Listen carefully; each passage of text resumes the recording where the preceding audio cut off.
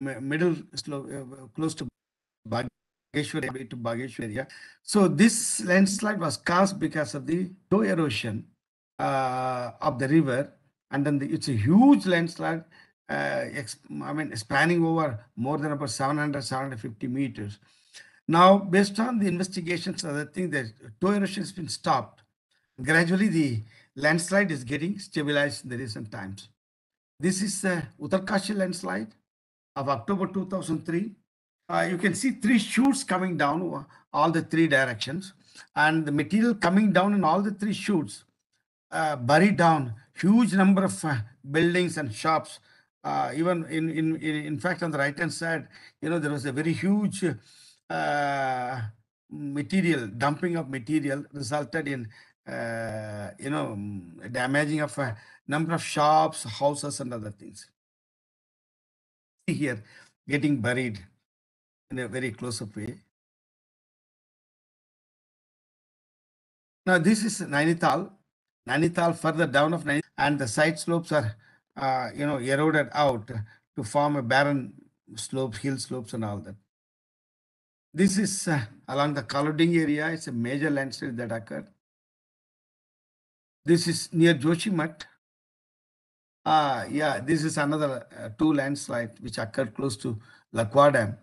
And this has been treated since then. I, I think this is uh, now it's not giving any major, otherwise it's uh, coming from a very steep slope. In Nainital, on the Sherkidanda hill, the most problematic thing is the glide, uh, is the slow creeping. The slow creep movement of the slope always result uh, in the open cracks in the crown area. You can see the open cracks in the crown area. It's because the creeping movement. Now this is a creeping movement leading to cracks of the buildings that area. Now these are the various, uh, uh, you know, met, uh, met, uh, the stabilization measures which were introduced, which were rather installed in the hill slope. Uh, and uh, University of Roorkee was, IIT was involved in this. So this is being, is working for the last more than about 10 years. Thank you.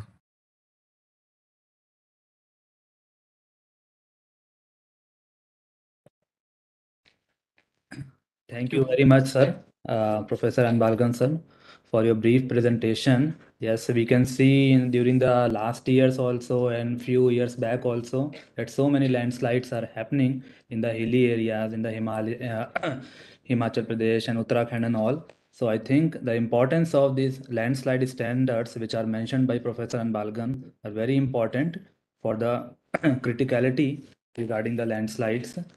So Thank you very much, sir, once again. Uh, so now moving ahead with our session, uh, I would now call uh, Dr. Prem Krishna for the next presentation. Uh, Dr. Prem Krishna had done his bachelor's and master's in structural engineering from the University of Roorkee in 1961. He had done his PhD from Imperial College London in 1964, and then he started his teaching. He is a leading person in the development of wind engineering in our country. He had served as the president of the International Association of Wind Engineering from 1991 to 1995. He took the initiative to organize the first Asia Pacific Symposium in on wind engineering at the University of Roorkee in 1985, which has since become a four-yearly conference. At present, he is chairing the CED 57 Committee on Cyclone-Resistant Structures to help in the development of wind-related design codes. He has received the Lifetime Achievement Award in 2013 by the Indian Society of Wind Engineering, celebrating in 20 years of its establishment, and the Distinguished Alumnus Award uh, from IIT Roorkee in 2012. So I would now invite Dr. Prem Krishna ji to present his presentation. Yeah, over to you, sir. Uh, Thank you, Mr. Chaudhary. Thank you, sir. Thank you for inviting me to this uh, very interesting webinar. Not only interesting, but I think a very useful webinar. The, we've just heard two excellent presentations from uh, Professor C.V.R. Murthy and Professor Anbalagan, very intensely and very comprehensive ones. I now uh, share with you some thoughts about cyclone resistant uh, uh, design and construction.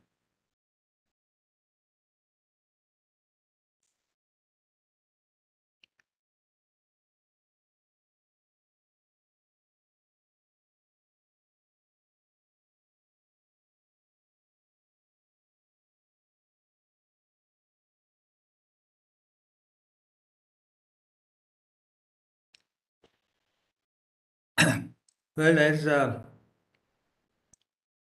uh, we are well aware, cyclones are one of the four very prominent natural hazards. Earthquakes, landslides, floods, and windstorms generally, and cyclones particularly, are uh, natural hazards which we have to um, safeguard against. The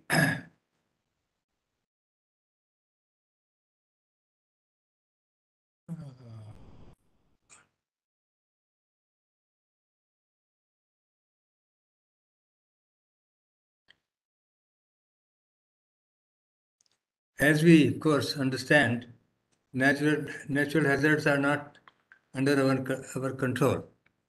They occur. And the engineer's mandate is the safety of the installations and infrastructure against it in order to minimize life uh, losses, property production, and thereby to reduce the disastrous consequences. And uh, indeed, as uh, Professor C.V.R. Murthy has said, life is the most important one, saving lives. As has been said, zero tolerance on the loss of life. So, uh, before uh, we, we uh, go further, I thought I'll talk a little bit about what cyclones are and what uh, kind of forces and effects that they uh, can cause.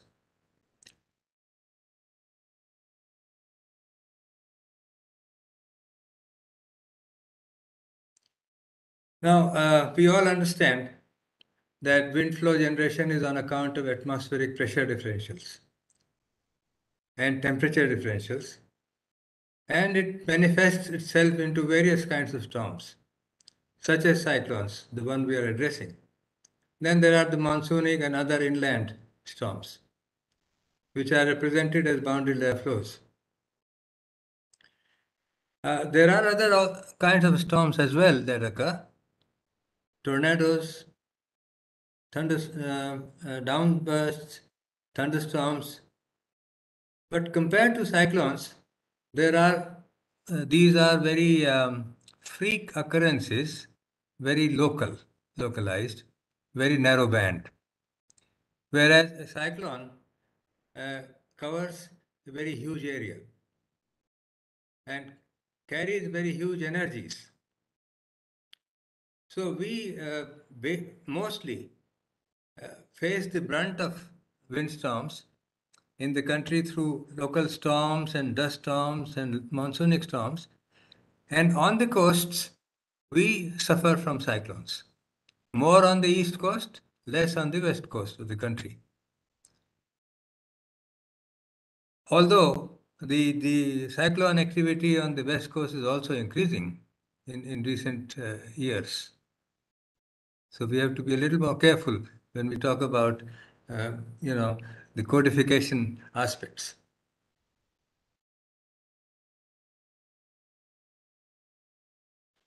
Now, whether uh, one kind of storm or another, there is something basic about uh, the, um, the character of wind. If one were to um, take a trace of wind speeds with time, then this is the kind of trace that you will get. Random, dynamic, varying value of wind speed. And you can break it down into a mean value and a fluctuating part.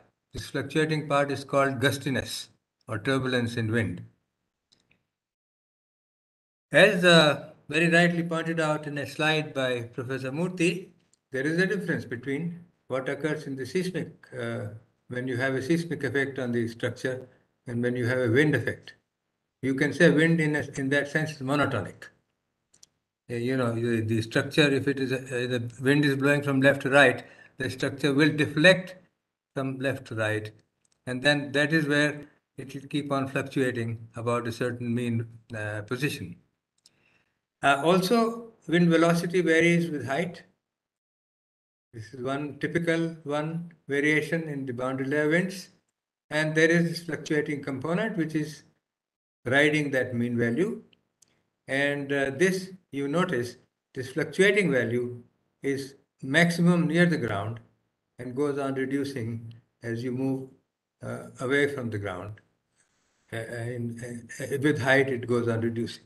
There are some basic characteristics of wind which we need to remember when we uh, think of safeguarding against windstorms.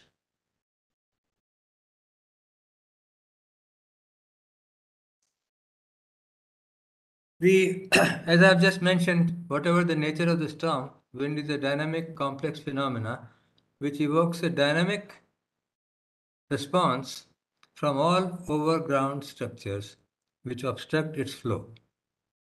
The courts, however, mainly consider the boundary layer wind or the synoptic wind as the basis. Although some storm types which I mentioned, for example, a tornado, for example, a downburst or a thunderstorm, have somewhat different characters, uh, different structure, I should say, compared to this boundary layer flow.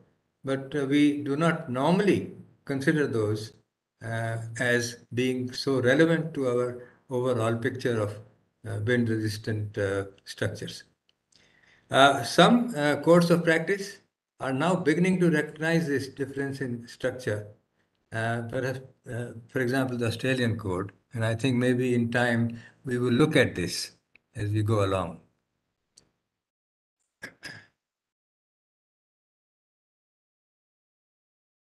Some picture of the storms. This is the cyclonic storm. You can see that picture taken. That's a thunderstorm and that's a tornado.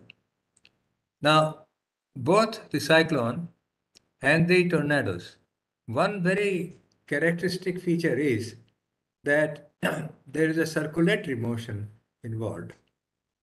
You, you can actually see this in this photograph, that there is a circulation, circulatory motion involved. So it is in the tornadoes as well. There is a circulatory motion, there is an updraft, and there is a radial velocity.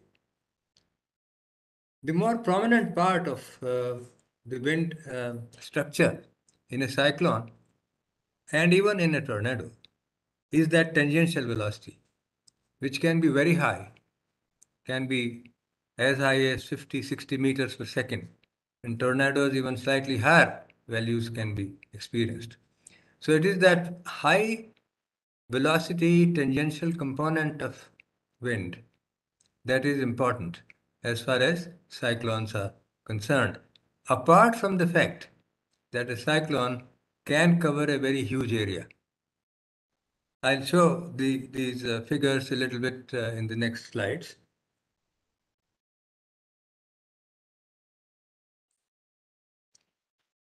Uh, cyclones are seasonal activities. In the northern hemisphere, they occur more, mostly between September to December. In the southern one, they occur more between January and March. And this is the band within which most of the cyclones will occur. The worst affected is the cross-hatched portion, this one here. And we in India are placed here in this cross-hatched band of 5 to 30 degrees in the northern hemisphere and which as you know most of our cyclones occur uh, between this period of September to October. In fact, 40, I've said here 45% occur uh, in uh, this cross-hatched part of the globe. Also, uh, we experience more cyclones on the eastern coast in this country as compared to the western coast. But as I mentioned, lately, in the last 10 years or so, we have noted increased cyclonic activity even in the west coast. And as I said, I think perhaps we have to take um, cognizance of that uh, fact. Earlier, we thought always, you know, the east coast is the one which is affected. Sometimes we get a cyclone on the Gujarat coast. That's what was the situation earlier.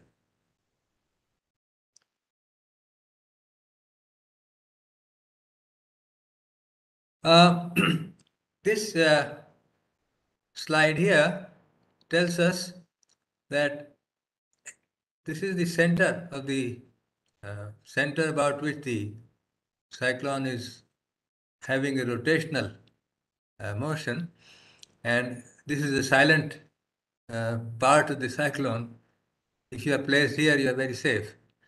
But then the that tangential velocity goes on increasing and then tapers down. Now this extent from the center, as I said, can be up to even 600 kilometers, which shows the, you know, the extent of coverage.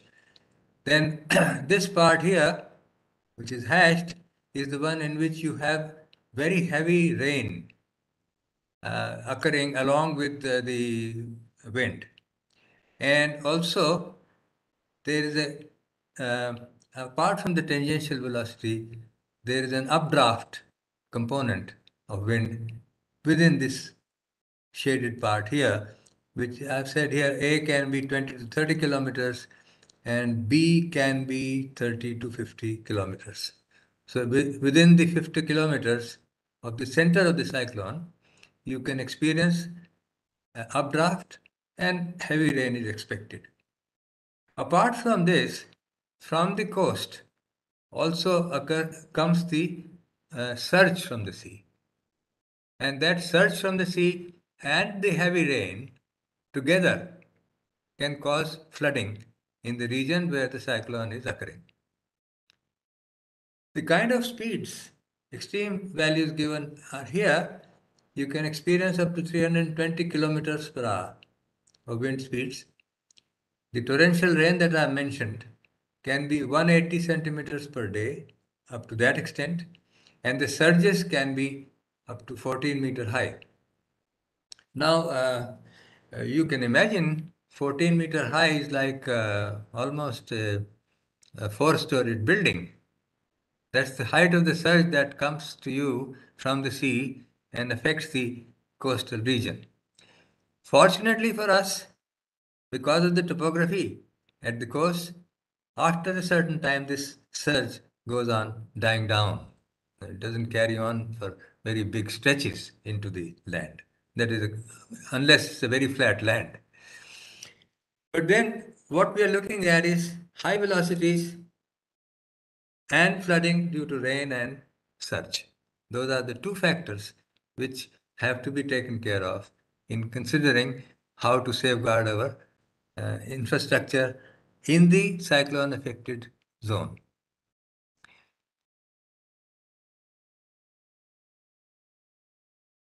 I'll skip this, not very important.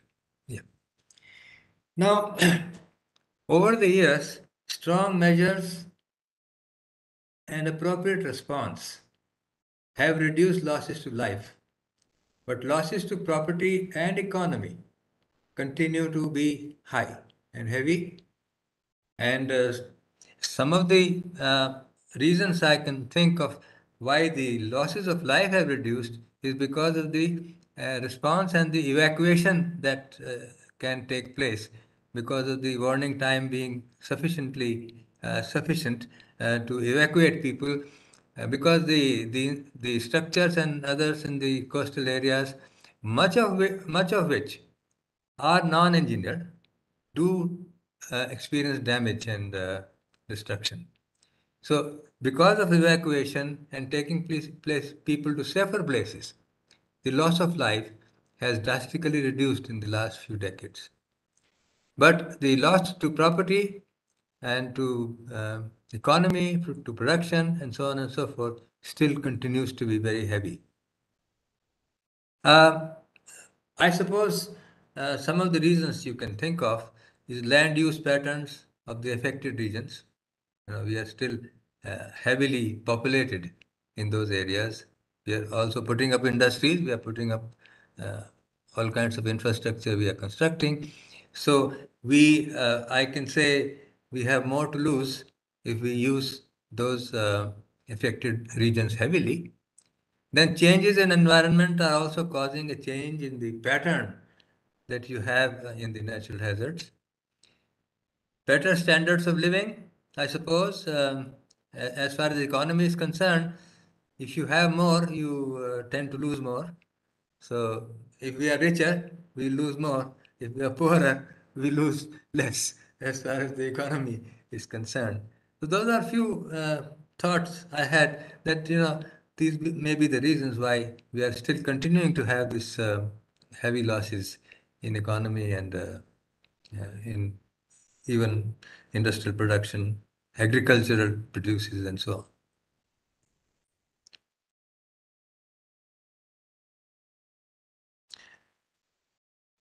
Um, before I talk of this BIS uh, CED 57, which is the cyclone resistant structures, and the scope is here, it has been already explained to you also by Mr. Arun Kumar.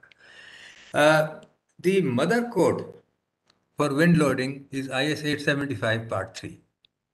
That is the one which is mother code to even our CED 57. So we must recognize that. Uh, because certain basic changes, if they occur in IS 875, they are equally applicable in whatever we do for CED 57, which is specifically trying to focus on cyclonic uh, winds. Uh, but cyclonic wind is also wind. you know, it's, it's just uh, so IS 875 uh, covers wind loading, and it also covers uh, cyclonic uh, loading to that extent. So that connection we should never lose sight of. But uh, this CED 57, the cyclone resistant structures code, has been in in existence for some time, and we have formulated a few codes. I'll just explain to you what we have done. Uh, but before I go to that, as I said, let me also, yeah, these are two codes that have been um, formulated. This was early on, guidelines for improving the cyclonic resistance of low-rise houses and other buildings and structures. Now, whereas whatever the code says is generally applicable to structures, the particular focus is on low-rise buildings and uh, which are constituting the major part of housing. And also, as Professor Murthy pointed out, not a big percentage of these is uh, engineered. These may be only semi-engineered or non-engineered buildings. So we thought, uh, you know, whereas whatever has been uh, given in this IS 15498, uh, generally applicable to uh, buildings and structures, it is focusing more on the uh, low-rise housing that uh, constitutes the majority of housing, as I said. Also, uh, re recent years, another code has been uh, formulated, and that is uh, design and construction of cyclone shelters. These are uh, guidelines given for design and construction, and uh, we thought it relevant because a very important part of the response for the event is to be able to evacuate uh, the population affected into safer areas. And one kind of safe area is the is the cyclone shelter. There are other uh, also uh, other uh, uh, you can say schools, buildings, and so on. They are also utilized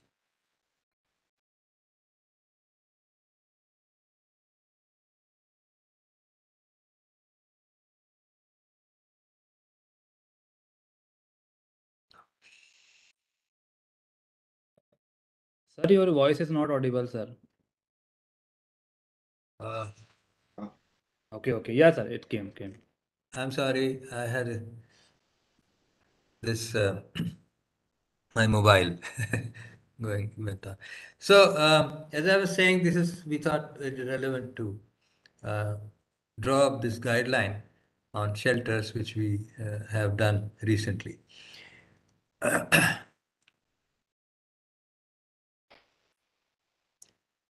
Now, as I've just mentioned, the uh, implications of cyclones, the uh, infrastructure is affected in the cyclonic belt has to be safeguarded against the high wind velocity and the flooding that occurs due to heavy rain and surge.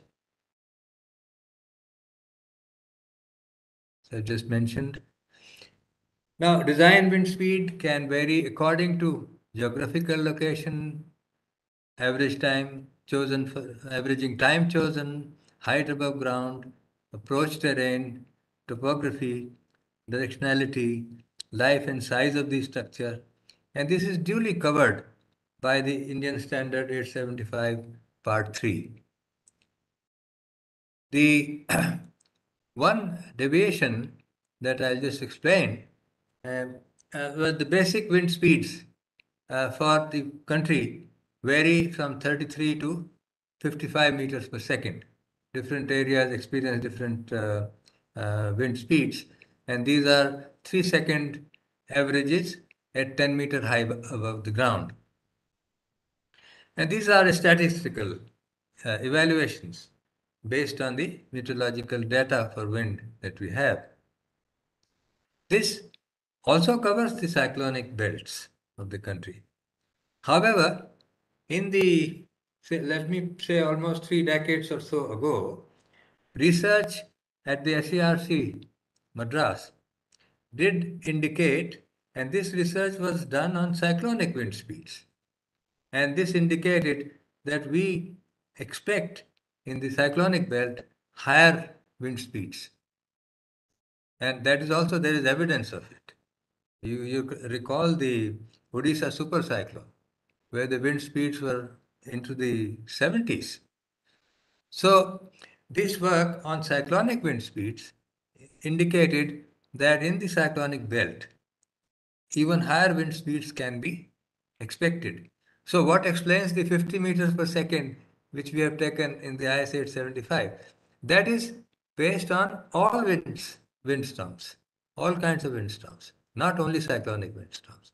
So if you look at the cyclonic windstorms alone, then you have a situation where you can expect higher wind speeds. So then the question came how to take account of this higher wind speed. And uh,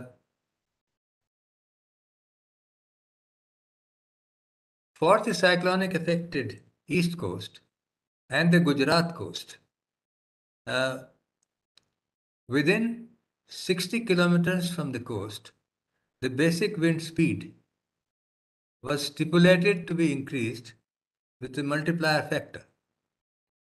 As per the Indian standard 15498 uh, that I mentioned, and uh, this is something like it's about 20 years old now.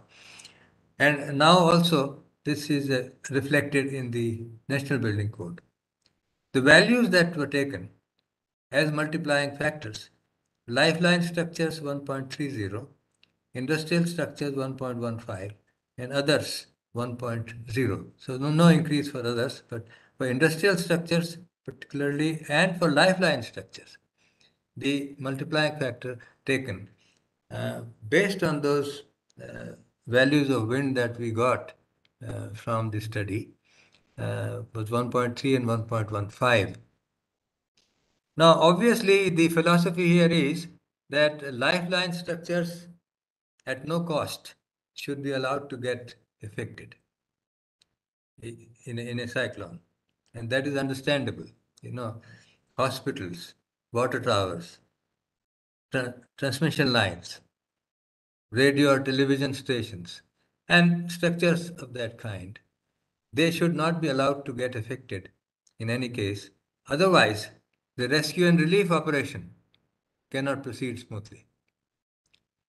As far as industrial structures are concerned, the argument was that we don't want them to get uh, don't want them to get uh, destroyed, uh, but part damage we may allow.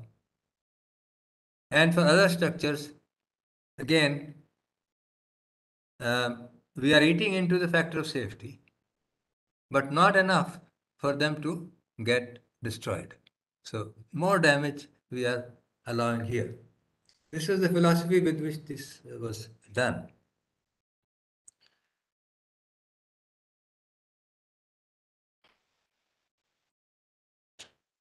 Now, also, I may mention that uh, design information for various kinds of structures, and particularly the pressure, uh, dis- disposition of pressures on a structure of on, uh, structures of various kinds, is reasonably well covered in the literature and, of course, in our standards, particularly the Indian Standard 875.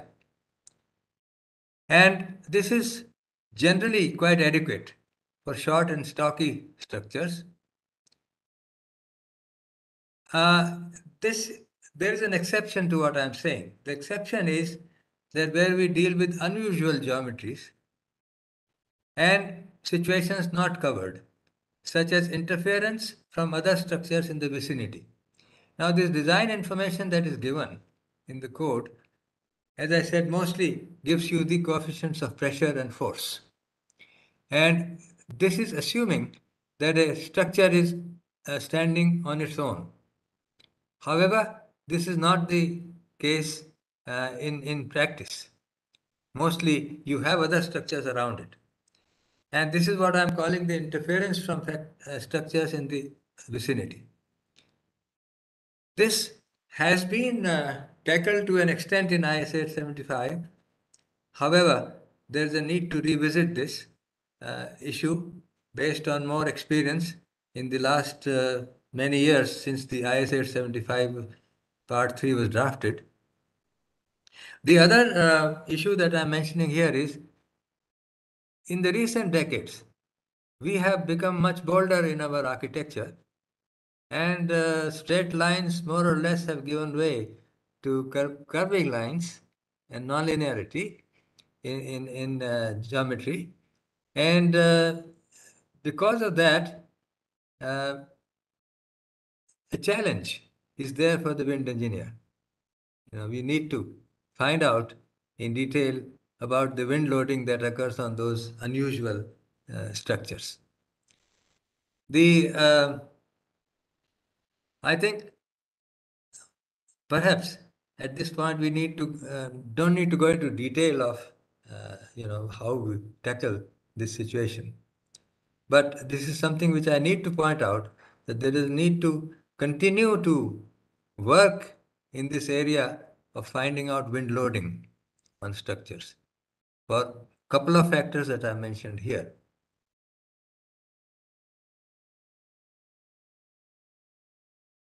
And this is equally applicable to cyclone effects, you know, like a cyclone also, as I said, causes wind only uh, as a one of the major uh, factors. Now, apart from the, as I said, the coefficient of pressure and force that you get from the Indian standard IS 875 for many, many structures, the realistic value of the velocity is very important. Since the forces that occur are proportional to the square of the velocity.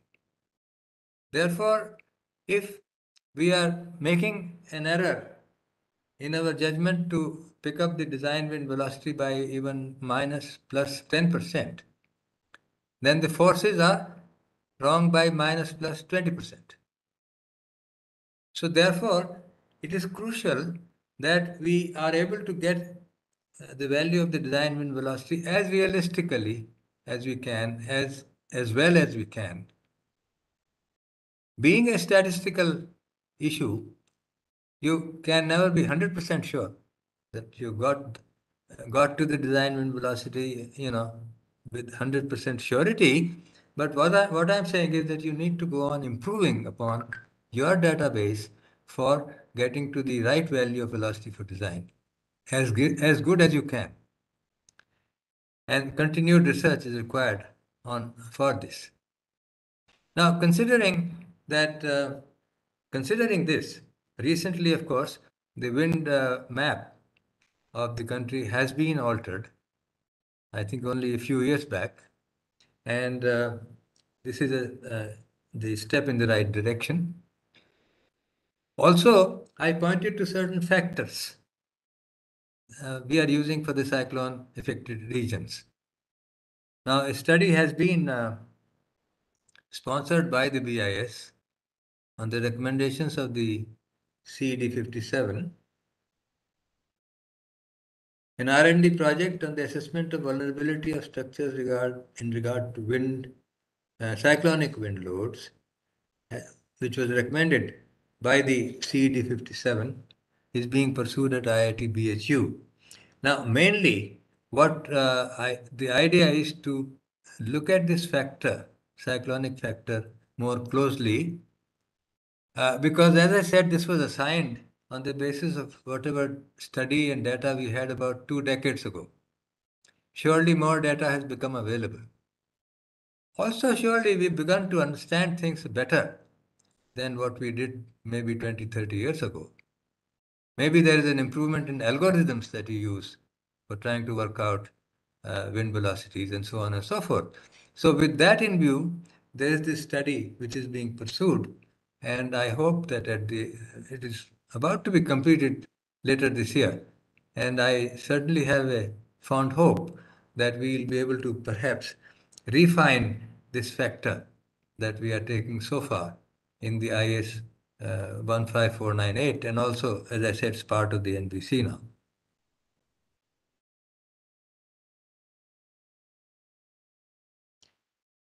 Well, some pictures of uh, the kind of failures that occur in cyclones. As you see, these photographs are mainly buildings. Uh, this looks like there was some kind of a tank which is uh, buckled in due to wind, but they're mostly buildings.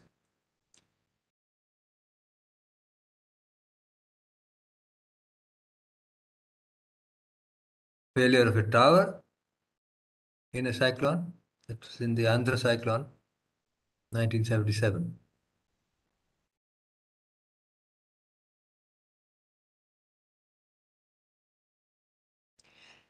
Now, generally well-engineered buildings and structures do survive the cyclones, cyclonic storms.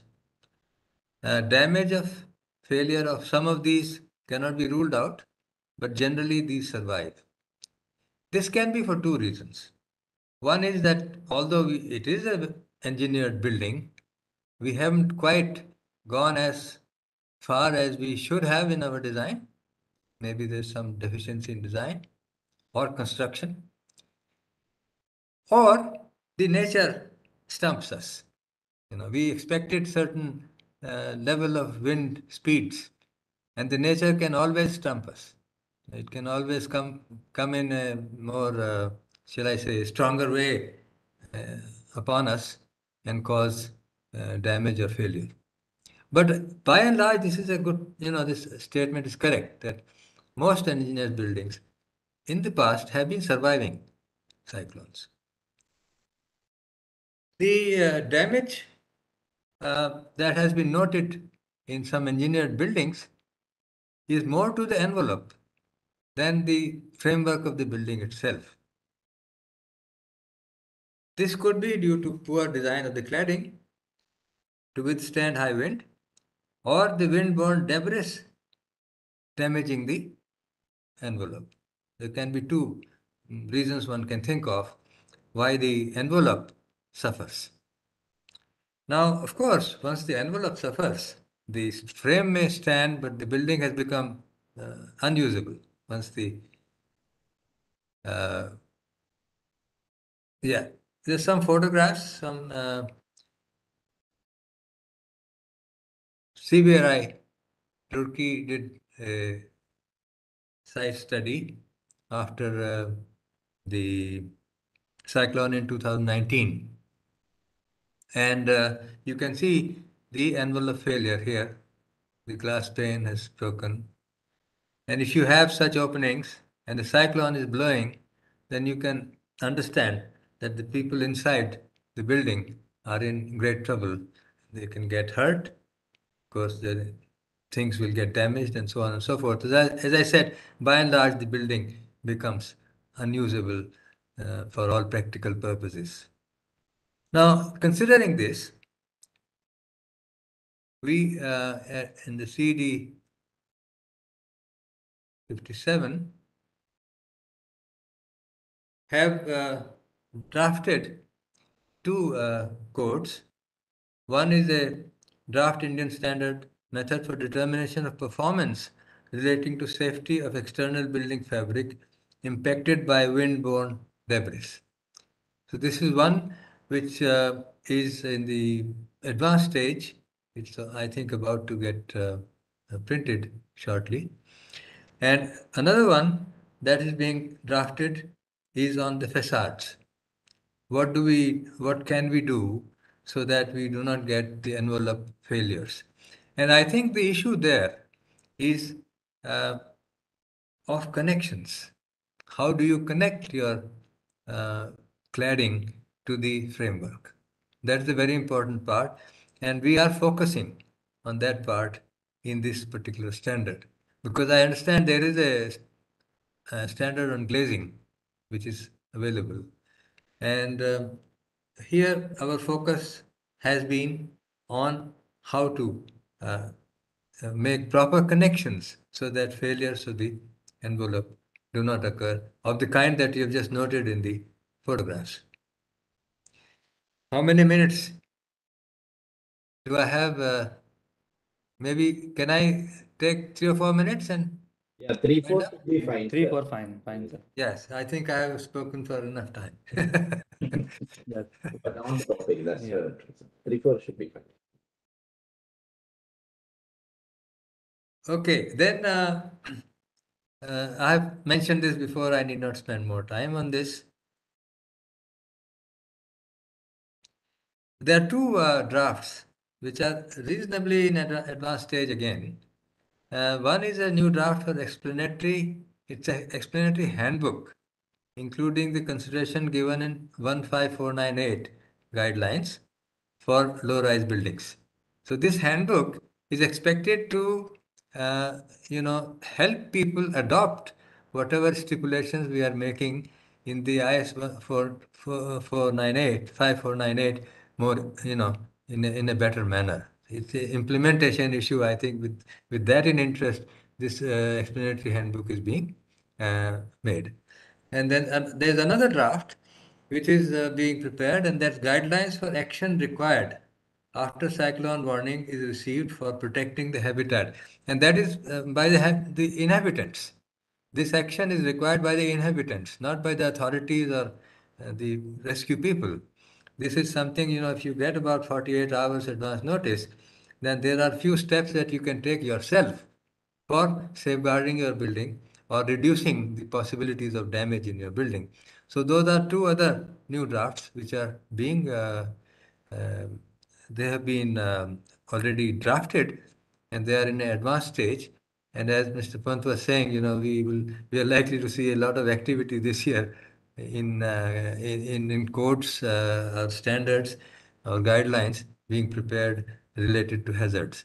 So I think I'll stop at this point, and uh, uh, I hope that I've been able to uh, give you enough information about what we are doing in CED 57 and also a little bit about cyclones, what they are and what they do. Thank you very much. yeah, thank you, Dr. Prem Krishna sir. Uh, it was a very informative session. Uh, thank you for the brief presentation given by you. Uh, as sir has already elaborated and detailed regarding all the aspects, and he has all elaborated all the very points regarding the cyclone resistant design in a very simple manner. I hope it will be beneficial for all of us. So uh, I can see a few comments in the chat box. We will take up the comments in the bus uh, last session at the end of the session. Okay, so moving ahead with our uh, last presentation for the today's webinar, uh, Dr. Santosh S. Varik Saab. Uh, he had done his fire engineering from the National Fire Service College, Nagpur. is also MBA in finance and law. He has got over 30 years of wide experience in the field of fire prevention, protection, and operational side. At present, he is serving as the Chief Fire Officer and Fire Advisor of MIDC Fire Service, and of course, the Director of Maharashtra Fire Services. So, Dr. Uh, Warik Saab, uh, over to you, sir. Please.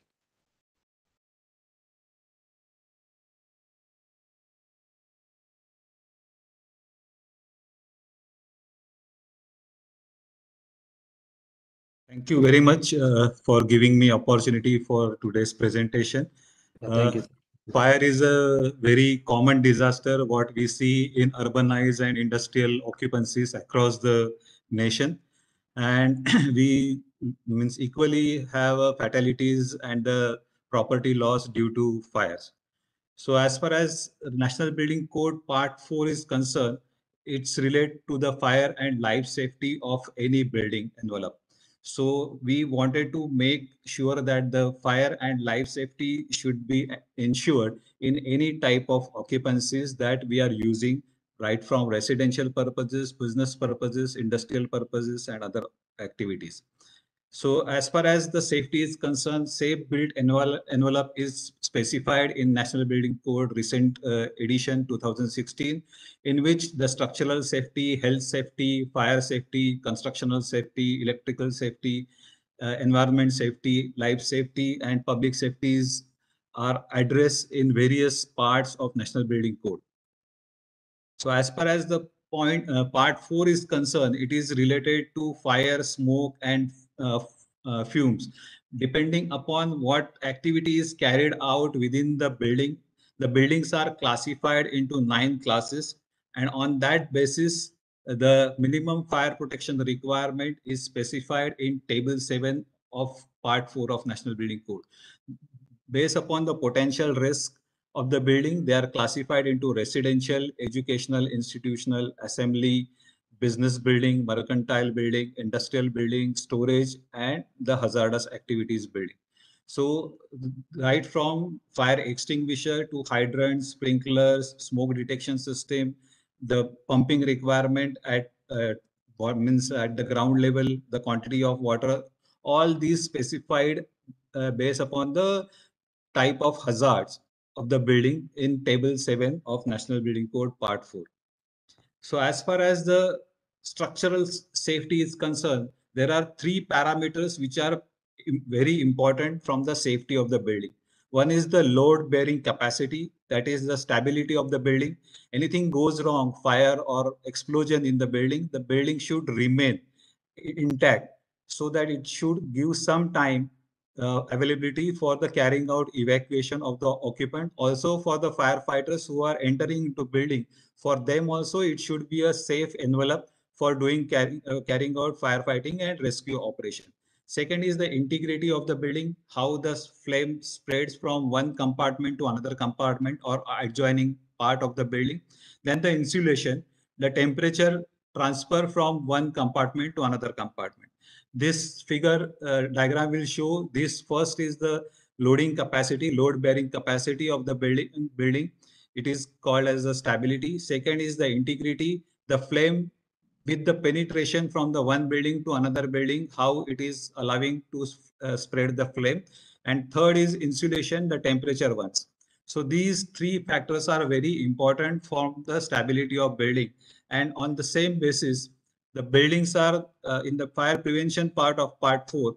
They have classified the buildings on these parameters, the fire resistance of the material, the smoke and preventing the smoke and fumes from one compartment to another, the total considering the fire load structures, certain types of constructions are allowed in particular for high-rise building and uh, uh, for the uh, low-rise building having high hazard, the only type 1 and type 2 type of uh, constructions are allowed.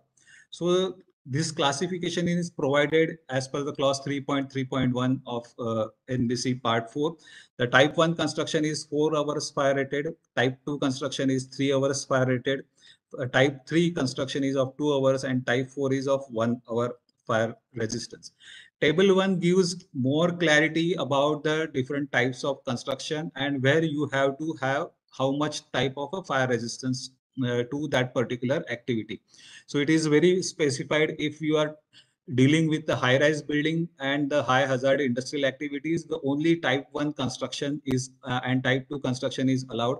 You can see the external walls here, the load bearing capacities depending upon the separation 3.7 meters or 3.7 to 9 meters. It is 240 meters or 120 meters uh, or 90, 90 minutes uh, fire resistance is required. So uh, you will see minimum one hour to two hours fire ratings are recommended in type 1 and type 2 construction depending upon the potential risk of the building then uh, there are external uh, facade uh, fire resistance is re uh, required separation of shafts within the buildings the compartmentation areas so all these are specified as a 120 minutes internal uh, means compartmentations considering the fire loads.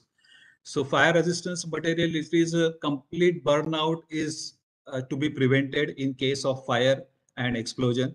So to make the building more safe, we have to use the proper fire resistance material because we have uh, in the construction industries, different types of materials are available for the use maybe glass, maybe steel, maybe uh, RCC or brick or stone, whatever it may be.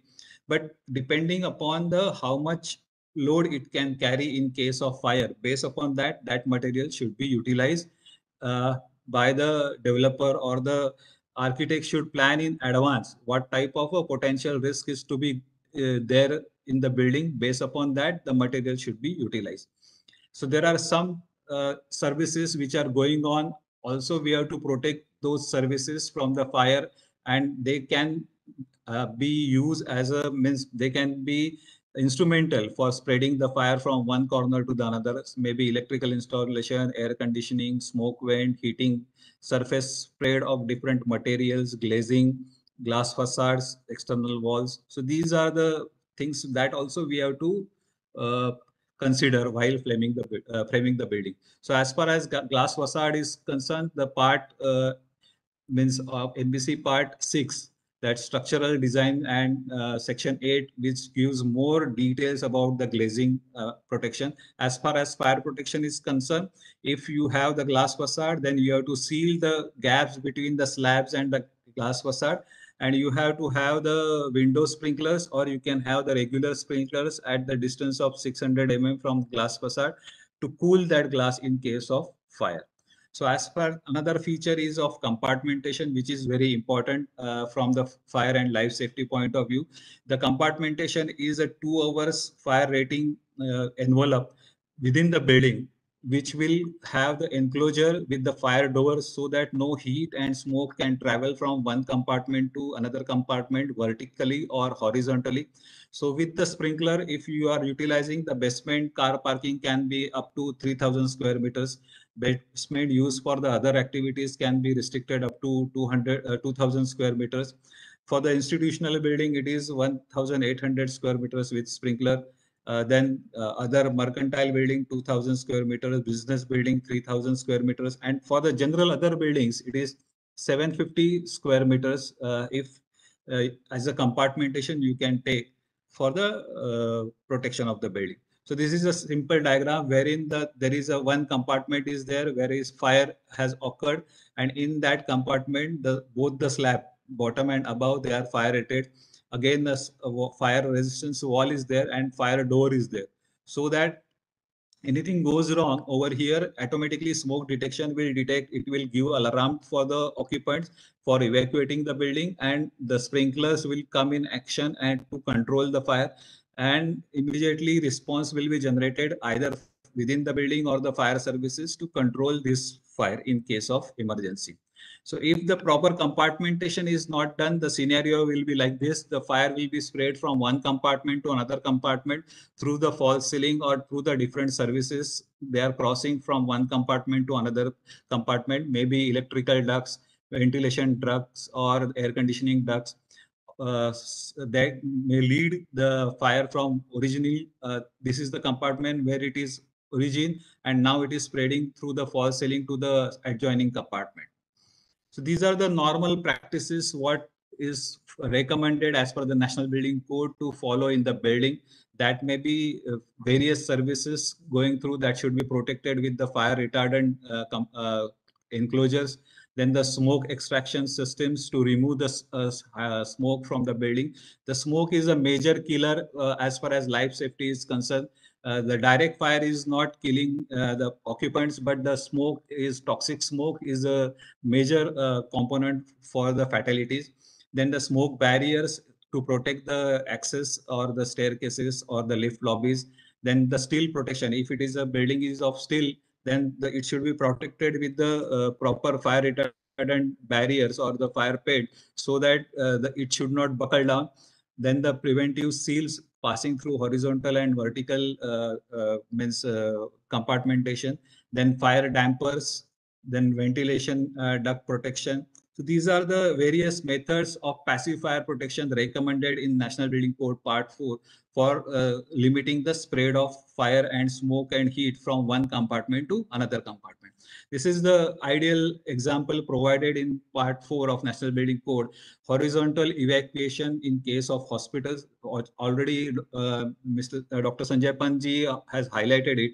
So in case of hospital, these are the two fire doors given and this line is cross means separating the floor into two compartment compartment a and compartment b and in case of fire in compartment a addition to the compartment b so that uh, these fire wall and the fire door having the two over fire resistance can take care and smoke will penetrate into compartment b uh, through these doors.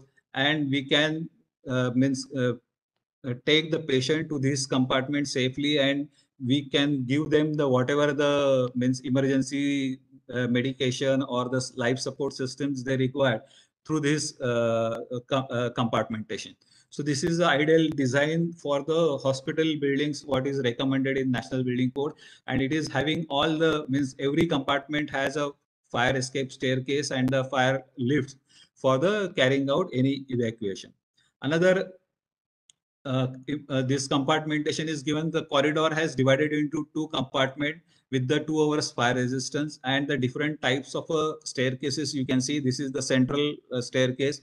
This is the external staircase can be considered as a fire escape staircase. And in uh, after utilizing this staircase, if you are coming down to the ultimate safety, the exit discharge, how it should be, that also recommended at ground level. This for this internal staircase, two hours fire resistant passage is created and through that a discharge is given it is not passing through any other activities at ground level so such kind of a uh, enclosures will give more safety to the occupants for leading to the ultimate safety. This is uh, again example of dead end corridor. This is the dead end corridor. If you are leading to this dead end there is no exit available. So exit is available only this areas. So in case of hospital and educational buildings, we are recommending only six meters travel distance. And in case of other buildings, the half the travel distance. If it is a 30 meters, then it dead end should be 15 meters. It should not be more than 15 meters that traveling going to the dead end and coming back to this staircase. So such type of a distance dead end is uh, recommended to be maintained as a half the travel distance.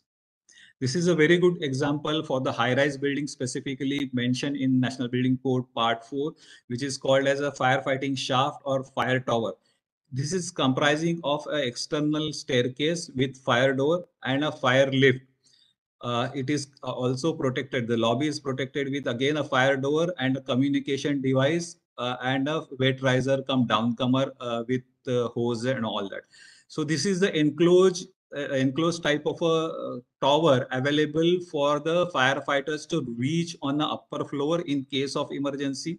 They can utilize this. This is provided with the separate electrical backup system so that the firefighters can use this lift for going on the upper floor uh, to minimize the response time. Also, this lift can be utilized for the guided rescue of the occupants if the occupants are physically challenged or old uh, people are there.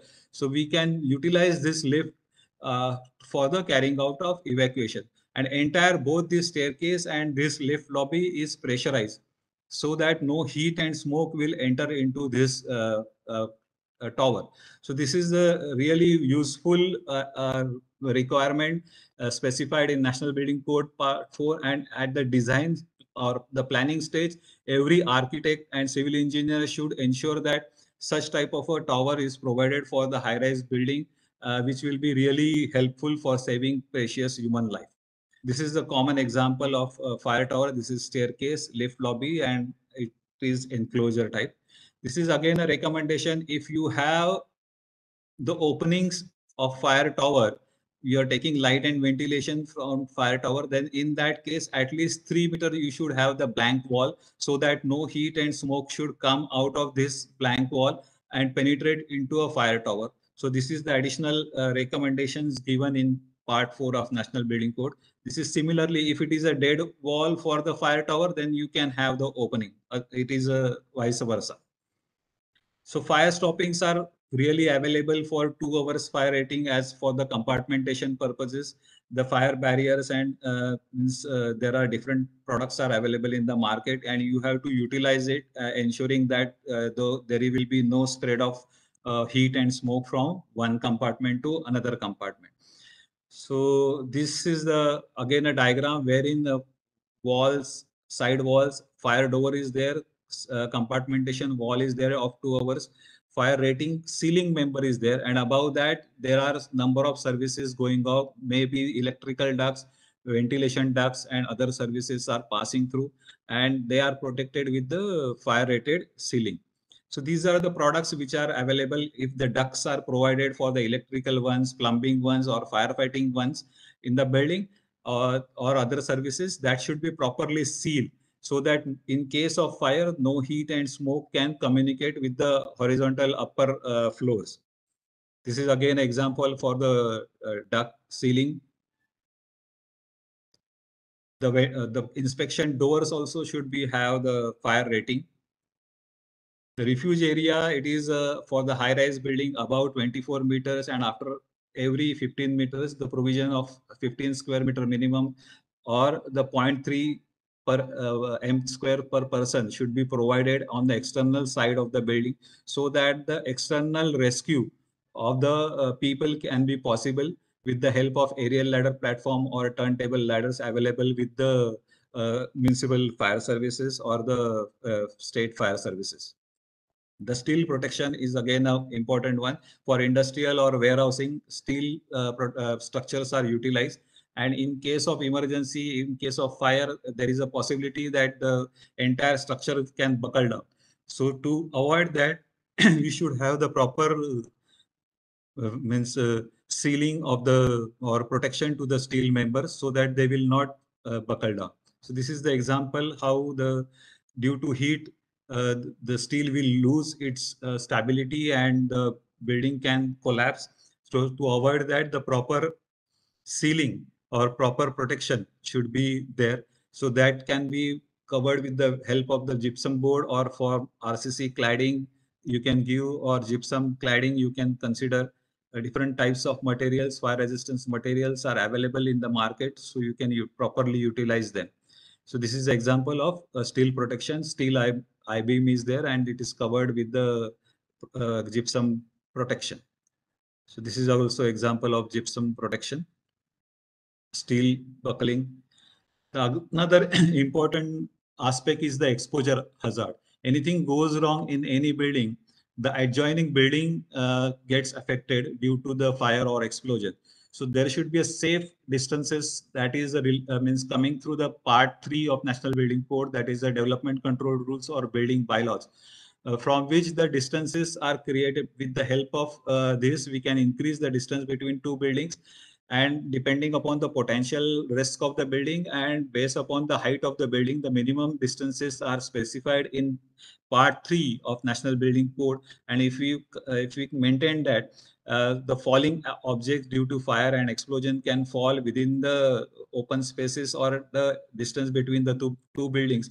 And this space can be utilized by the fire services for carrying out external firefighting and rescue operation also so this is the example how the fire or explosion can occur and it may lead to the damages to the adjoining building and how to control uh, this by keeping the proper distances between the two buildings.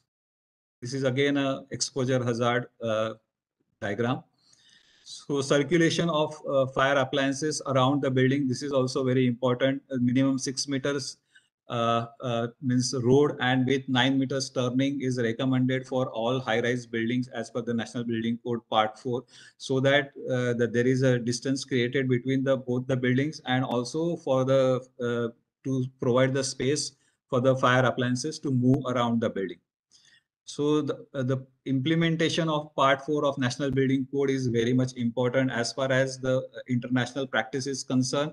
Uh, as uh, the focus is moving from the active to passive fire protection from the planning stage of the building itself.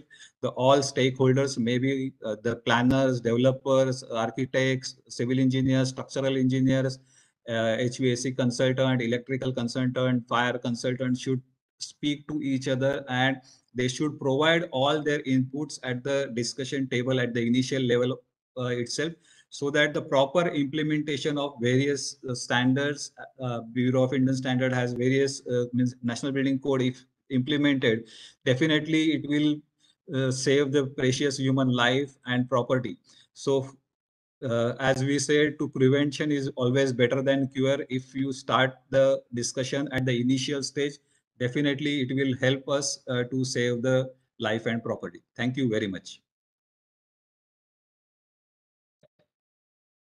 Yeah, Thank you, Arif Saab, for your brief presentation. Arif Saab has already mentioned about the fire preventive measures, fire safety, firefighting equipments. As we all know that uh, fire incidents are occurring so frequently in our uh, country. So all the fire provisions which are mentioned by Barik Saab, they are already there in the our National Building Code also. So that will be very uh, essential in the case of firefighting. So thank you so much, Barik Sahab, and all the speakers' presentations.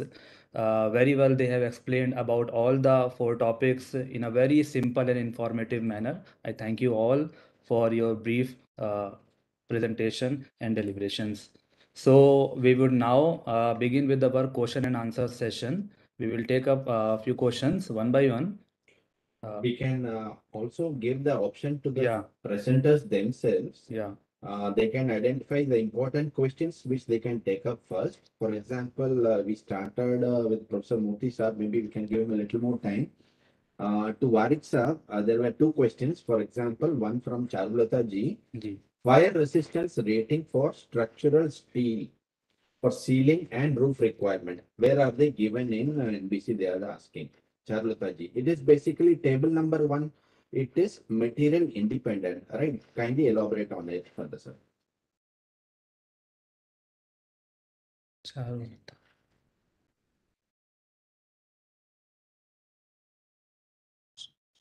On the chat towards the end at twelve forty-seven is the query from Charulata ji who has mentioned about fire resistance rating. So the table one, if somebody sees, it is irrespective of the material used. It, the code wants such elements to have a necessary of the X minutes of fire resistance depending on type one, type two, type three, or type four.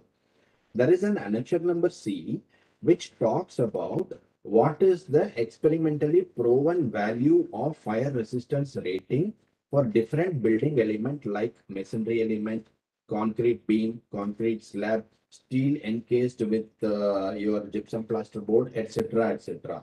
Those are given at annexure C. And uh, there is another question from Mr. Satish Yadav regarding clause 3.3.1 for which our uh, former uh, director of Delhi Fire Services, Dr. Girichandra Mishra has also replied earlier. Basically, type 1, type 2, type 3, type 4 construction in part 4 is to help or enable the planners to design, uh, to uh, ensure that where are the fire zones in a uh, city which has to be planned, which are the permitted uh, occupancies in an area, given that if the road width has been defined, depending on the width of the road, then the type of construction, uh, I mean, the floor area ratio for that particular road has to be technically assigned. For that information, this table number, this particular table on FIR has been given both in part three of the National Building Code and in part four. It is not directly relevant to the architects directly, but it it enables the planners to uh, give that value. Uh, would you like to add more on this? No, absolutely. Depending upon the road width approach and already NBC has specified, uh, means while granting additional FSI, what uh, consideration you should have. That leads to the capacity of the local fire services for doing firefighting and rescue operation, water supply, parking availabilities, the road width, the marginal open spaces. So these all parameters are already specified in part three and part four of National Building Code. Based upon that, they can increase the FSI right from one to up to four now uh, they are giving and some uh, states they are allowing up to uh, six also. So it depends upon the local need of the development. So such type of uh, FSIs can be granted. But uh, it means you have to look at the recommendation from part four and there are respective IS standards are there. So you have to look, uh, look into that also depending upon the how much fire resistance uh, tests are there. So you have to select the product which is properly tested by the some test lab, accredited test lab, either internationally or the nationally. Then only you can ensure that uh, that much fire resistance can be achieved. Thank you, Variksha. Uh, if I can request Professor Murthy uh, to pick uh, whatever uh, important questions which he feel. Okay. Uh, thank you, Arun. Uh, good afternoon, ladies and gentlemen. I'll run a quick answer for uh, the long questions. Um, Yeah. Is there any way local bodies uh, follow BIS code of practice uh, for safe structures? Um, uh, we are hoping that eventually a techno-legal regime will come and then that will insist that the local bodies are able to check the safety of the structures and their own offices instead of trusting uh, the designer alone. What are Adobe buildings? They're made of mud, not burnt mud, but plain mud. Right. Lightweight structures, all earthquake resistant structures should be lightweight, so there is no category of lightweight structures at all. How about shell and spatial structures? Shell structures and spatial structures, when you put them through cyclic loading, thin members may not be able to withstand the um, the extreme actions during earthquake shaking. So usually you will not see shell structures uh, being used in seismic areas. Of course, if you take the shell structure thickness to 300 mm, 500 mm, yes, you can be, um, you can try and uh, do the calculation, but in general, observe that shell structures may not be able to perform well. Uh, existing building checking and recommendation uh, and retrofit are included in the new code provisions. Yes, they will be included in the new code provisions.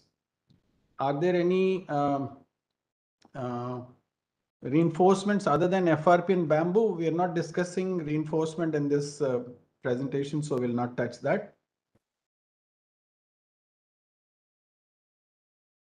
Uh, will fracture mechanics concept be included in the future design codes? Uh, fracture is the initial part of it. We are worried about collapse. So fracture is not so much a worry for us. Collapse is a big, uh, you know, thunder.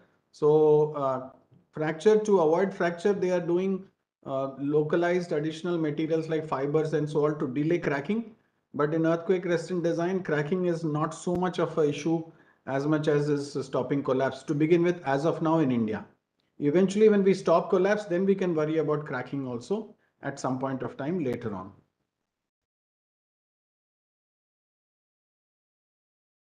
There was one query on uh, IRC codes. Yeah, I'm coming to that.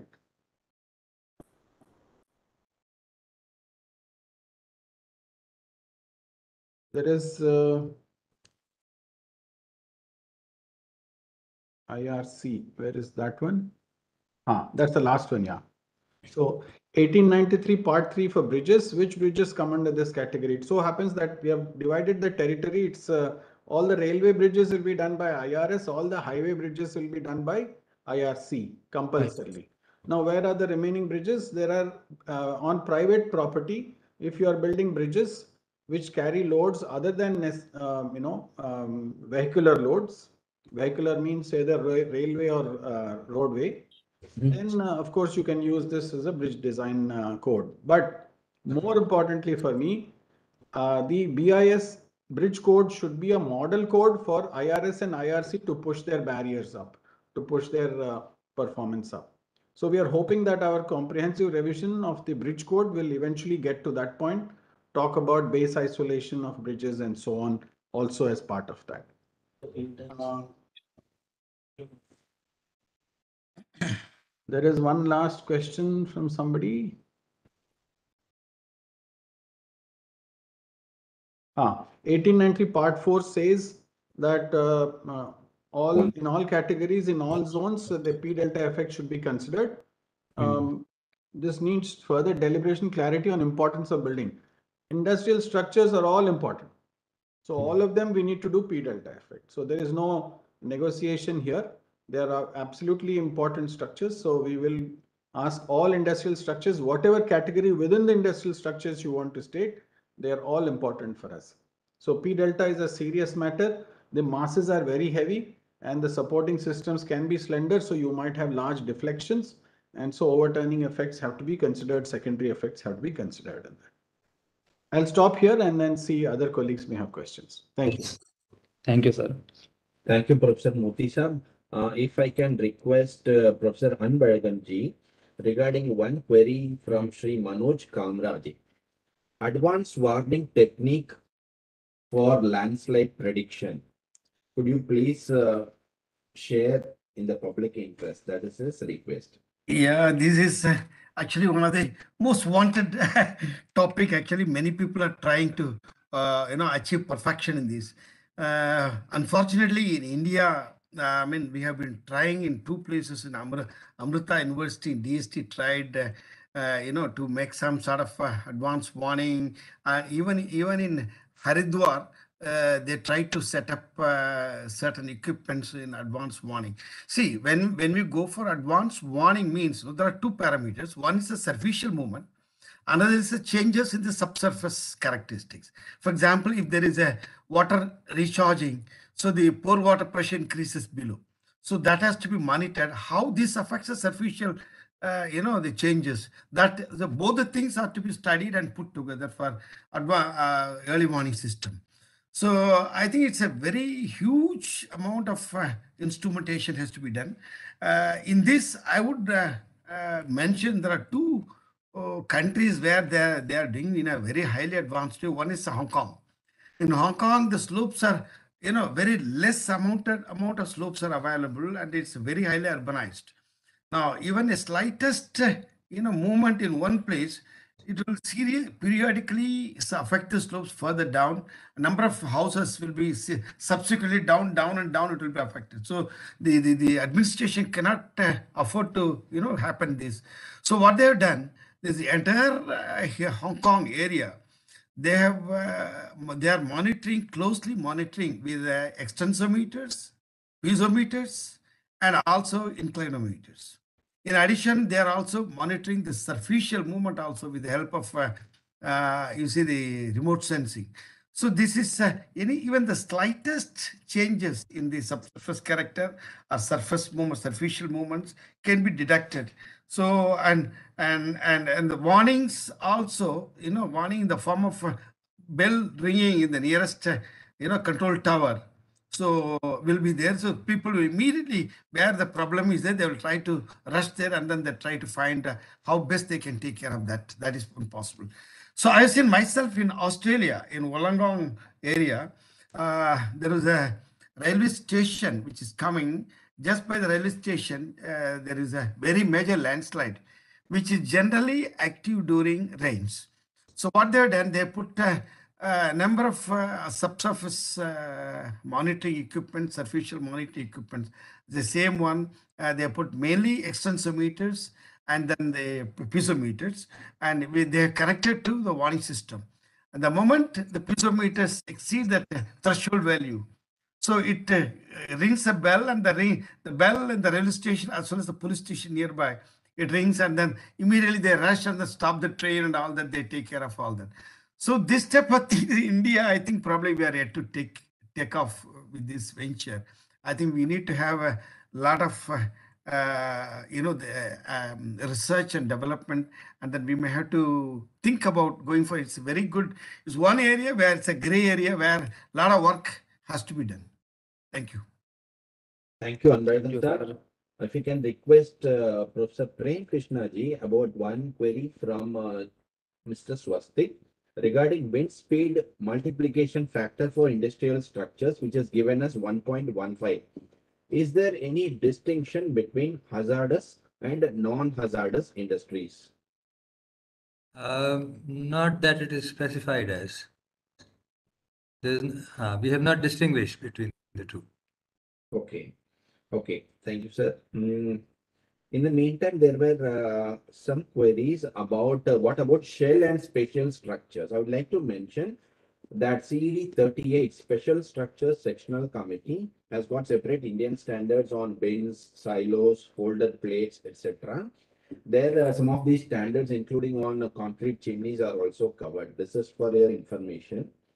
And uh, there is another que- uh, question from Dr. Rahima Shabin regarding uh, any standard on other than steel reinforcement. For example, bamboo in reinforcement and FRP in re- as reinforcement. Regarding bamboo as reinforcement, the National Building Code already is permitting in its part six, section three B on bamboo. If you can uh, kindly go through that particular chapter, you will get further information.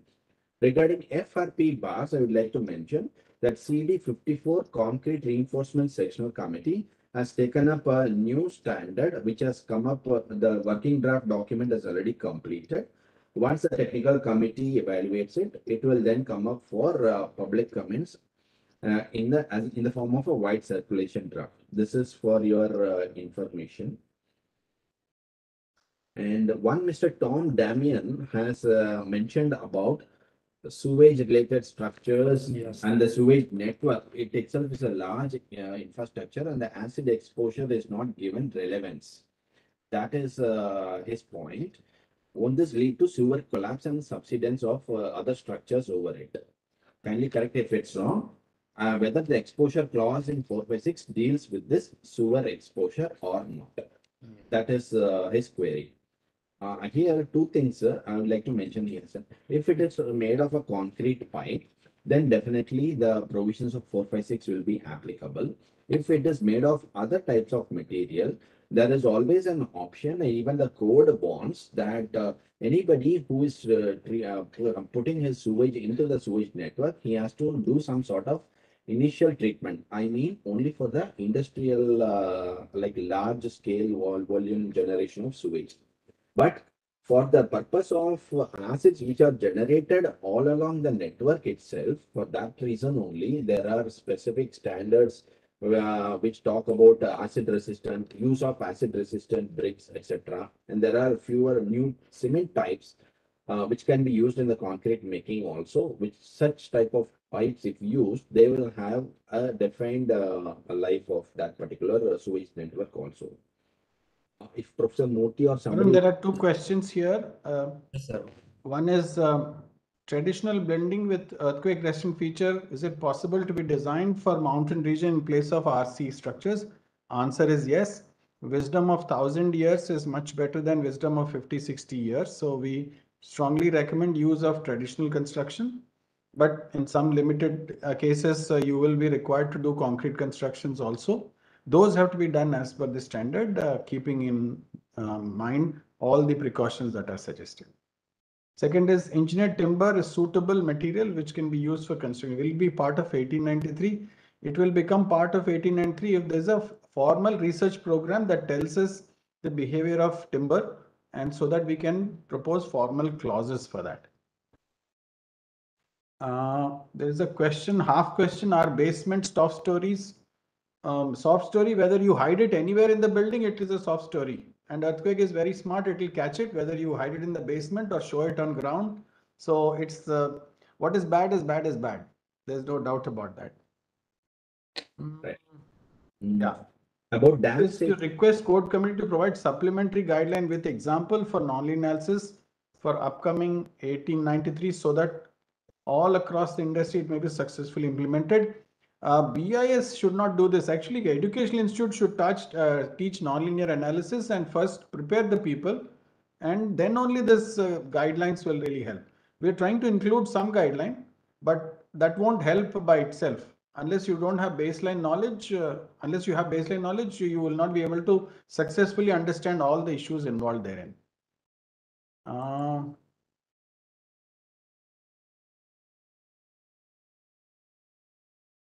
In the, in the. I guess that's, uh, did I In- miss any?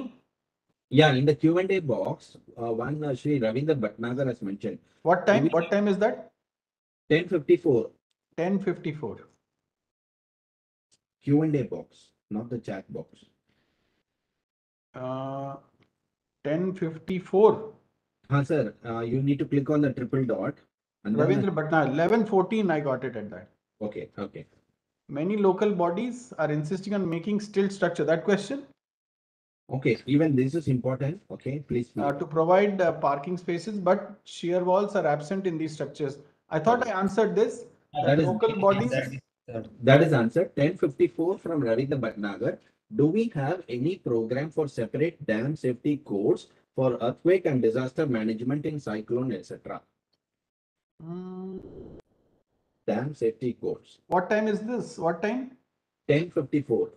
Sir, that you can find in the Q and A box. Oh, in the That's- Q and A box. Yeah, It is the Q and A session. Oh, ho, ho, that's another one. your chat, yeah. It is Okay, Q and A box, uh, ten fifty-four, you're saying. Yeah, yeah, yeah. First question from Ravindra Bhatnagar ji. Uh, ten fifty-four, I don't have that question. So this is what I am, I'm, I'm reading it out here, sir, or I will also share my screen in, in the meeting. There's one question on uh, skin reinforcement, eighteen ninety-three, part one, two thousand sixteen. Yes, sir. Yeah, can you show this? Yeah, this one. Do we, uh, do we have any program for separate dam safety codes for earthquake and disaster management in cyclone, etc.? Um, we are having uh, earthquake resistant design of dams, uh, both concrete dams and earthen dams as part of CED 39, and it will have hazard uh, design and assessment and retrofit. And the third one will be most useful for um, the new Dam Safety Act, which asks 5,500 dams to be checked every five years. So we are in a hurry to create that document. We hope that we can get it out soon. A recent question that uh, 1318 from Mr. Sai Sudhir. When damage is allowed in seismic design, should crack width be checked for seismic case in serviceability limit state? And allowed in seismic design, should crack width be checked in seismic case in serviceability limit state? Uh, um, answer is no. Uh, that is a different issue.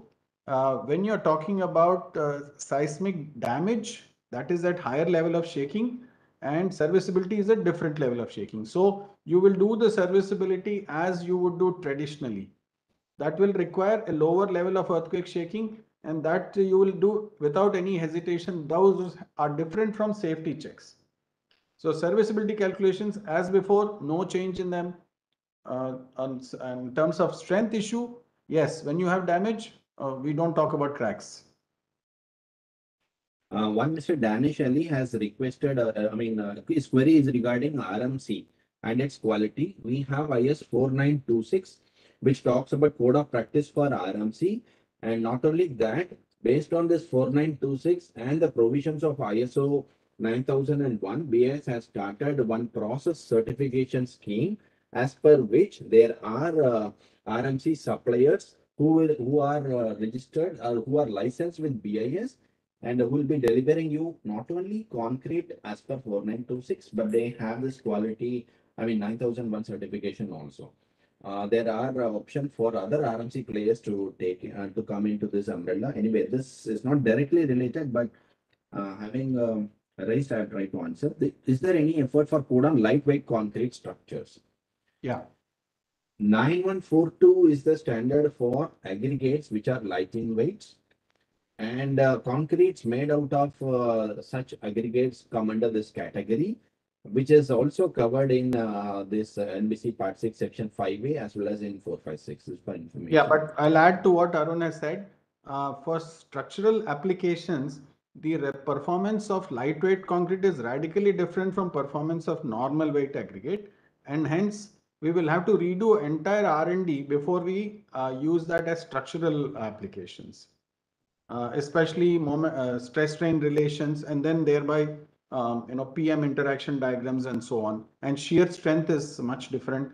Even in self-compacting concrete, shear strength is much different. So there are a number of new materials coming in, uh, but without, uh, you know, hesitating, we should do a detailed R&D with, before we propose clauses for them. One Mr. Satish Yadav. Uh, Sir, sir, Pan sir, you may have to unmute, I think. Yes, sir.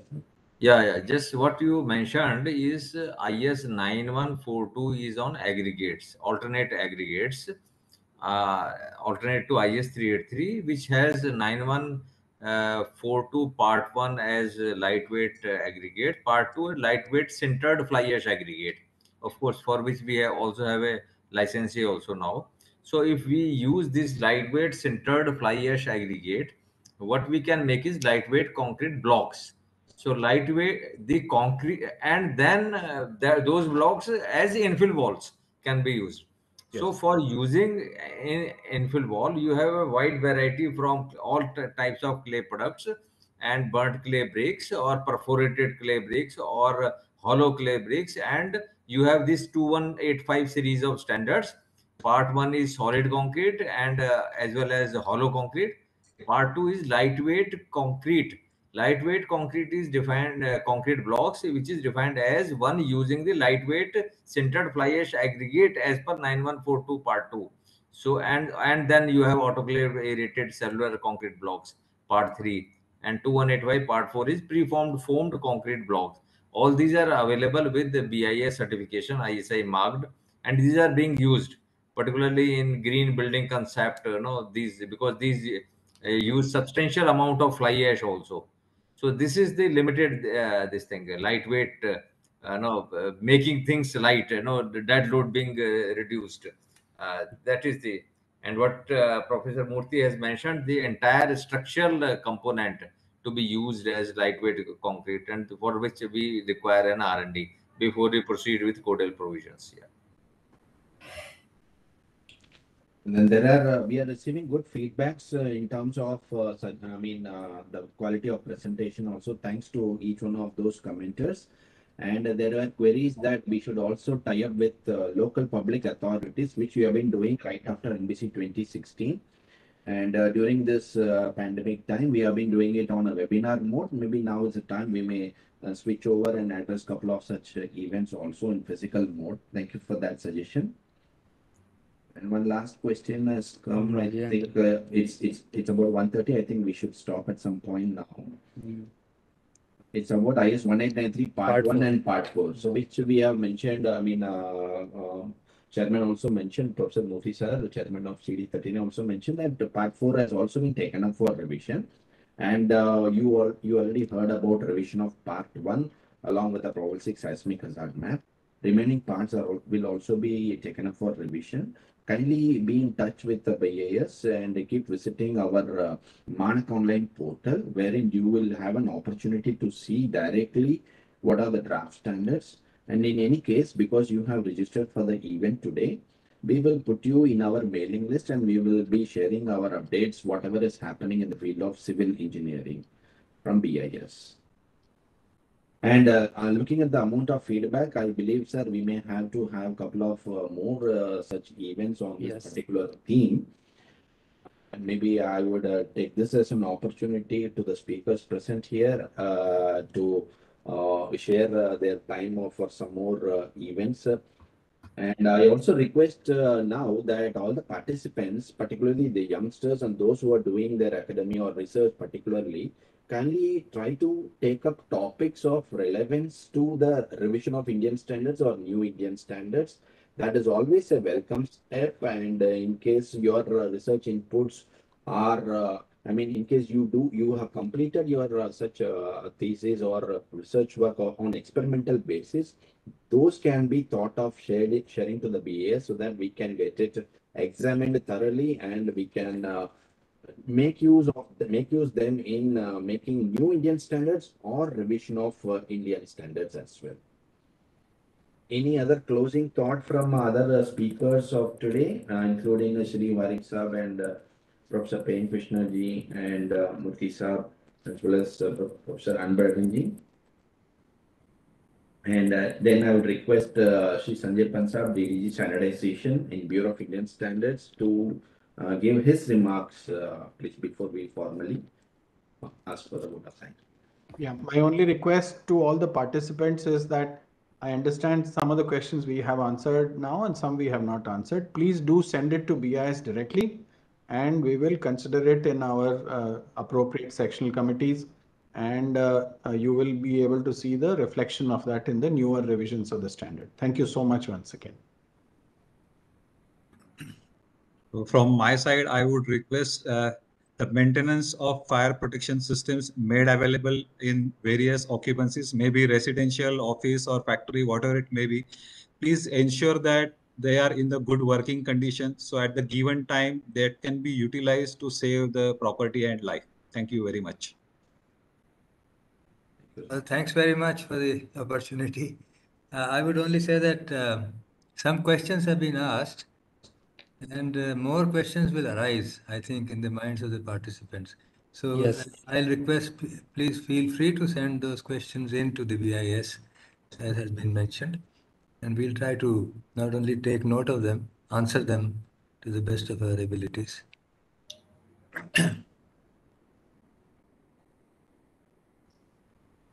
Anman sir, please unmute your uh, laptop, please.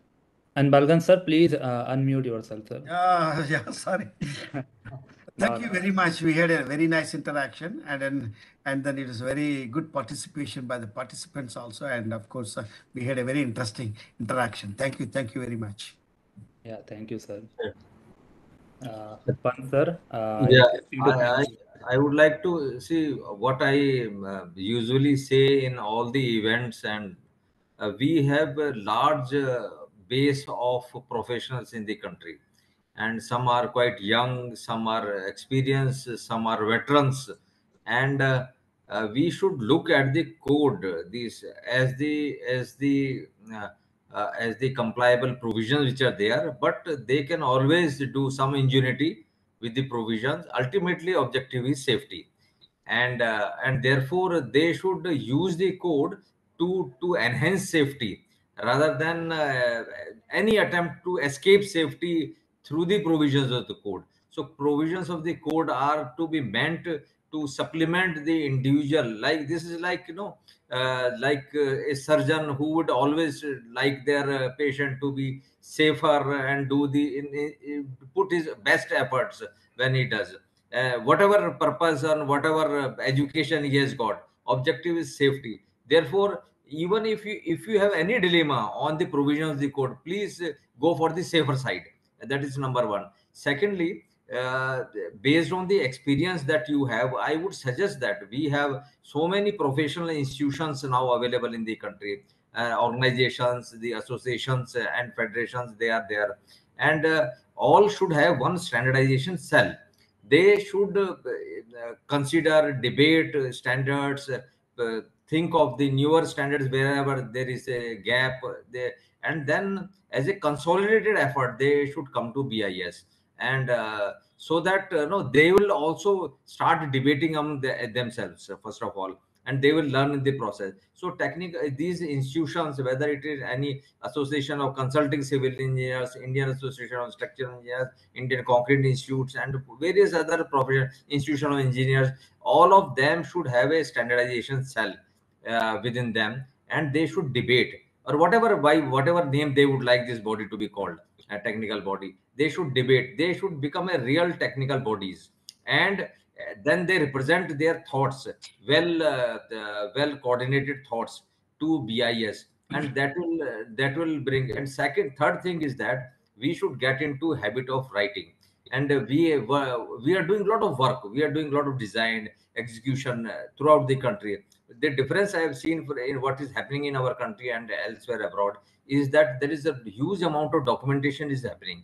And therefore it is good that whatever experience you gather during your designing during your execution during your maintenance and repairs and retrofitting you should start uh, uh, documenting that properly in the for, uh, form, form of you know, a book maybe or an article or even in the form of prob- probable possible uh, codal provision so that's my suggestions to everybody. And thanks for participation, especially the speakers. I'm grateful to them for having uh, you know agreed and joined and blessed all of us. Thank you, sir.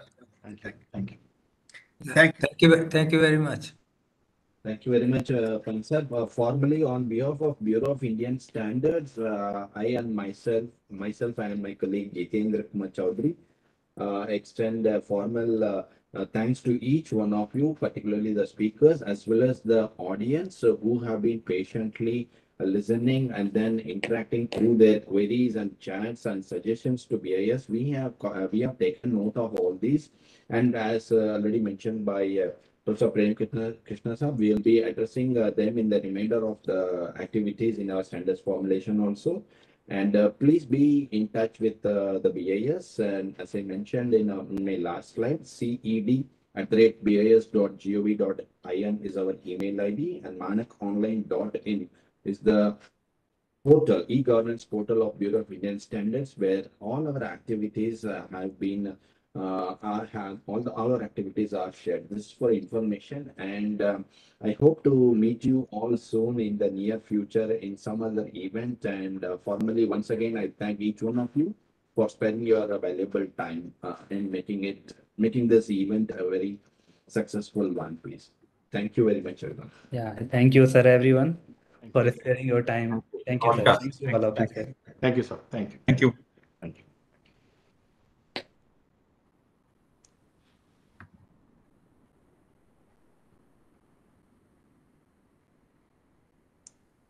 Streaming off करना पड़ेगा हाँ, sir.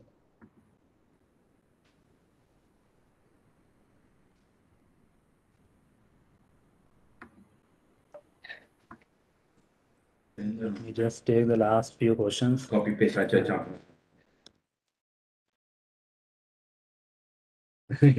Participation certificate. बाप रे Who is asking participation? दो साल हो गए अभी भी Did we say पैसा लेके करेंगे तो give certificate सब ये ना They are thinking like the seminar. Hmm. Huh?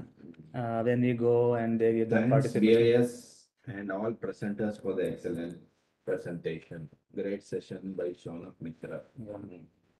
ठीक है वो काम नहीं किया वेरी गुड क्या कर रहे हो क्लोजिंग Hmm. कॉपी पेस्टिंग हाँ डन ये हो गया ये अभी बंद है हाँ सर वो मैं एक मिनट।